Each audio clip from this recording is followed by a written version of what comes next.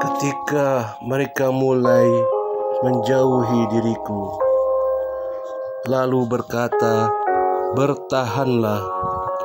Aku hanya bisa menatap punggungnya. Berapa lama, berapa lama lagi aku bisa bertahan? Sebab semakin lama membuatku semakin sakit, semakin sulit untuk kusembunyikan. Layaknya ditarik hingga ke dasar samudera, hingga nafas pun habis sudah. Terpikir untuk menyerah, sebab seberapapun besar usaha yang kulakukan, tetap mereka tak akan lagi memandangku.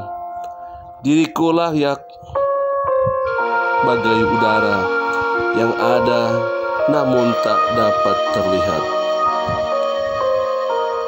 Terbentang luas di pelupuk mataku. Aku tak sanggup melihat, tapi tak kuasa apa yang kulakukan. Sementara batinku terkoyak, tak sanggup lagi ku menatapnya.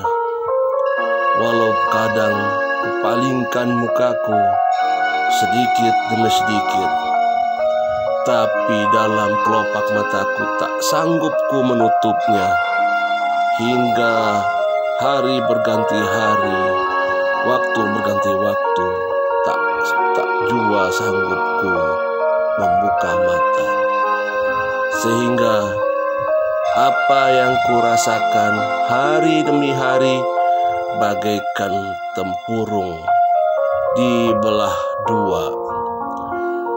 Aku coba untuk berdiri, menggapai semua yang kurasa, namun tak sanggup.